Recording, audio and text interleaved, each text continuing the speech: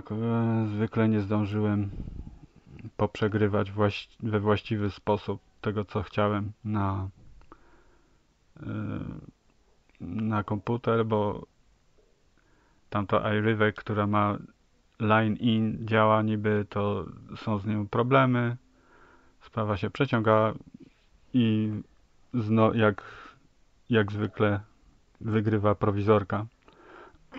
po prostu podstawię ten nagrywacz iRiver, postawię go koło od, y, magnetofonu małego. Kiepska jakość, ale lepsza niż nic.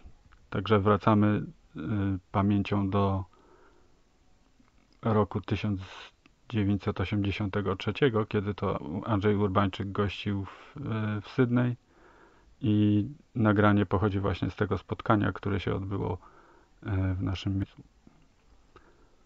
Więc posłuchajmy.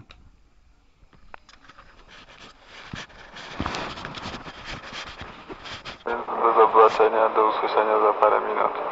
Again. Kochani, to jeszcze raz ja. Tym razem sama, krzyżowiec zajęty. Nie wiem od czego zacząć. Mamy salę pełną gości, living pełny gości.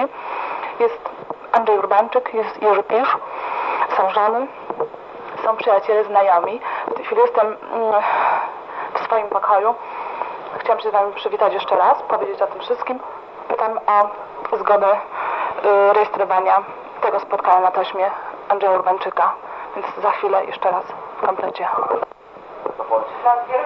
dla prababci. Ja jestem na tym etapie, że ja, ja chętnie widzę, jak nagrywają.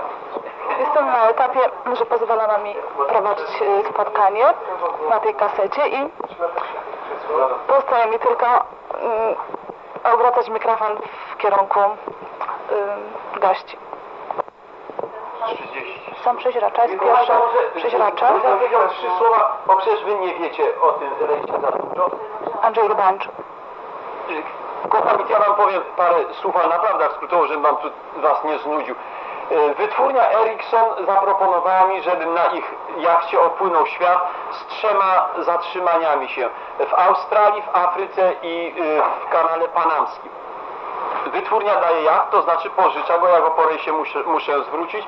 Dostałem trochę sprzętu od innych instytucji, no i zaczęliśmy budować ten, ten okręt. Zażyczyłem sobie kilku zmian, jak między innymi obcięcie masztu o 6 stóp, bo wydawał mi się za duży, wypełnienie części dziobowej o mniej więcej dotąd, komora zderzeniowa z y, poliuretanu. Y, Założyliśmy bardzo dobry y, samoster, przebudowaliśmy troszeczkę w środku. No i daliśmy mu takie różne amerykańskie narwania, jak na przykład baterie słoneczne, jak urządzenie do nawigacji satelitarnej, jak y, figurkę Buddy, kota myszołowa i takich kilka y, oryginalności moich własnych. To jest y, w czasie produkcji. Prosimy następny. Jak długo trwała budowa? Budowa takiego jachtu u Ericssona trwa jeden tydzień Z gotowego kopyta? Seryjnie, zobaczycie na zdjęciu jak one idą u Ericssona taśmą. E, Dlaczego Ericsson mi proponował? Bo ja żeglowałem poprzednio na Ericssonie 27 z San Francisco do Japonii i z Japonii do San Francisco również samotnie z kotem. To jest szef brygady Meksykanin, bardzo miły człowiek, który włożył kupę serca w ten jacht. Jakie, jakie konstrukcje są? Jak to normalnie laminat, jedno skrót? E, To jest, e, to jest pół na pół. On jest wzmo- wzmacniany w środku swego rodzaju kratą. Nie wiem, czy my tutaj zobaczymy. E, Od mniej więcej podłogi, tak jak mamy wręgi e, czy dejwudy w normalnym jachcie, tutaj leci swego rodzaju krata, która jest zrobiona z balsy i z laminatów.